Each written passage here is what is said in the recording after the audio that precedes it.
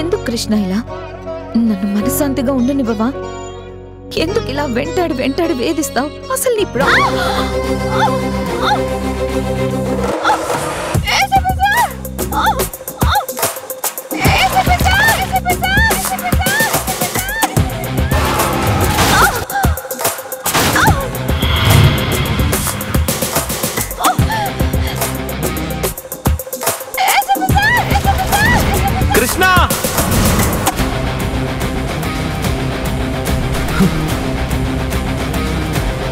the...